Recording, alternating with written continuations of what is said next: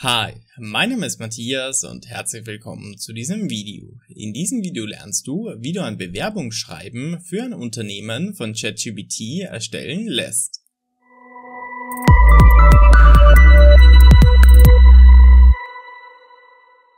Bevor wir nun mit diesem Video starten, hier noch ein kleiner Hinweis. Wünschst du dir zu einem Thema ein Video, so schreib es doch in die Kommentare. Wie du siehst, befinde ich mich in der Arbeitsoberfläche von ChatGPT. Was du hier genau alles findest, erfährst du in anderen Videos. Die Videos sind in der Videobeschreibung und oder in der Playlist zu finden. Bevor wir nun in die Anwendung gehen, erkläre ich noch kurz, was ein Bewerbungsschreiben erstellen mit ChatGPT eigentlich bedeutet. Das Bewerbungsschreiben ist eines der wichtigsten Elemente bei einer Bewerbung in einem Unternehmen. Hierzu sind die Formulierungen, die man tätigt, sehr ausschlaggebend über deine Person. Möchte man hier nun Unterstützung erhalten, kann man ChatGPT nutzen. Achte allerdings hierbei darauf, dass was ChatGPT dir liefert, soll lediglich als Vorlage dienen, welche du im Anschluss in deinen Worten noch einmal anpasst. Einerseits kann ChatGPT Fehler machen und andererseits schreibt ChatGPT nicht in deinem Stil. Passe diese Bewerbung also auf jeden Fall an. Gut, wie machst du das nun? Um dies zu tun, habe ich mir hier einen Befehl vorbereitet und zwar schreib mir eine gute Bewerbung für den Job als Buchhalterin bei der Firma Mustermann GmbH. Ich habe mehrere Jahre Erfahrung im Bereich Buchhaltung mit der Software BMD und konnte alle Aufgaben gut lösen. Die Stellenausschreibung habe ich auf der Webseite des Unternehmens gefunden. Was habe ich hier nun alles reingeschrieben? Fangen wir oben an und zwar schreiben eine gute Bewerbung. Hier weiß ChatGPT nun, es handelt sich um ein Bewerbungsschreiben für den Job, also für welchen Job als Buchhalterin und für welche Firma für die Firma Mustermann GmbH. Ich habe mehrere Jahre Erfahrung im Bereich Buchhaltung.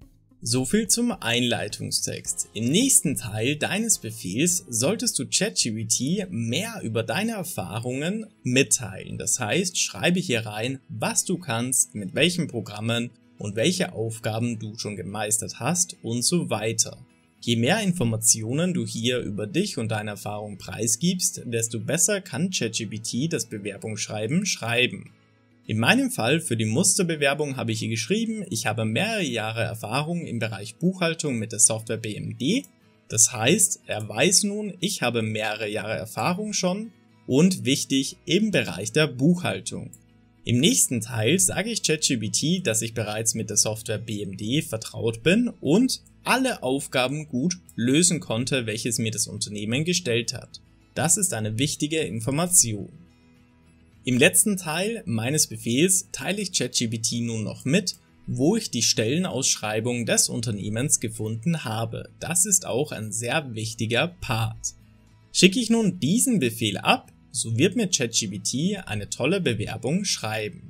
Auch hier noch einmal der Hinweis, dies soll lediglich als Vorlage für dein finales Bewerbungsschreiben sein. Ändere dies in deinen Worten ab.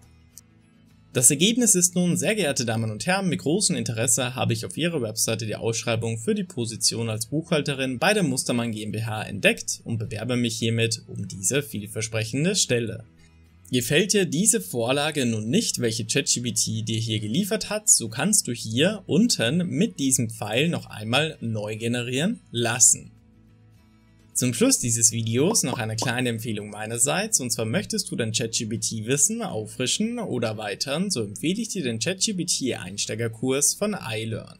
Dort lernst du in aufbauenden Modulen das ganze Wissen rund um das Thema ChatGPT. In jedem der Module bekommst du zahlreiche Downloads in Form von Merkzetteln und Übungen, welche dir zur freien Verfügung stehen. Am Ende des Kurses kannst du dein erlangtes Wissen auf die Probe stellen und dir bei Erfolg dein ChatGPT Einsteigerkurs-Zertifikat für deinen Lebenslauf abholen. Abonniere ruhig diesen Kanal für weitere Schritt-für-Schritt-Anleitungen. Ich freue mich auf dich, dein Matthias.